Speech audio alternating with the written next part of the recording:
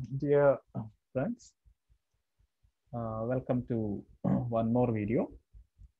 Fine.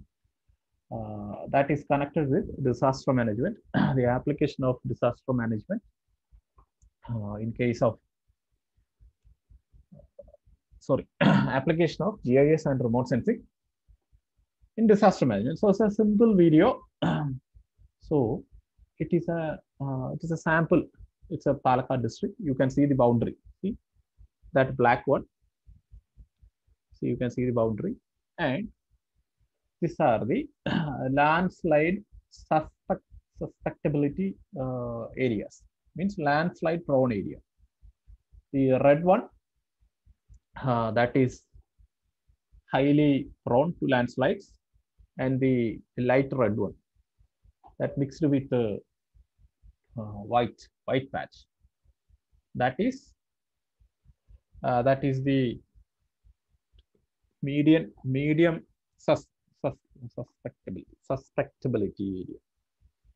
Suspectability areas. So you can see uh, with the help of this one we can predict see it's just a predict see uh, we are using here uh, both um, satellite remote sensing and uh,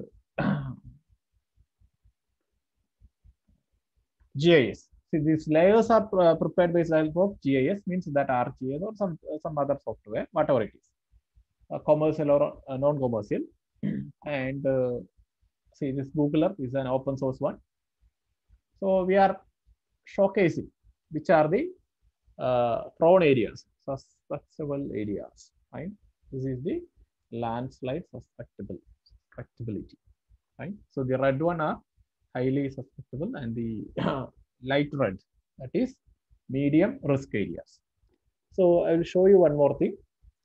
Uh, how to this flood area. I will show you. Uh, yes, these are the flood prone areas. Right. The blue patches are rivers and the red one that is the uh, flood plain stands for occurring floods in Palakkad district. Please don't ask uh, the source of this data. It's collected from some other sources. Right? Uh, we are using to monitor this kinds of flood, landslides, etc. Right? See the red one that is the areas having chance for flooding, and the blue one that are the what different water bodies. Right? Not just rivers, different water bodies. Right?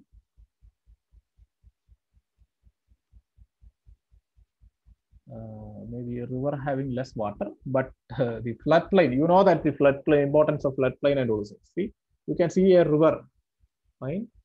And these are the floodplains of that river. Okay.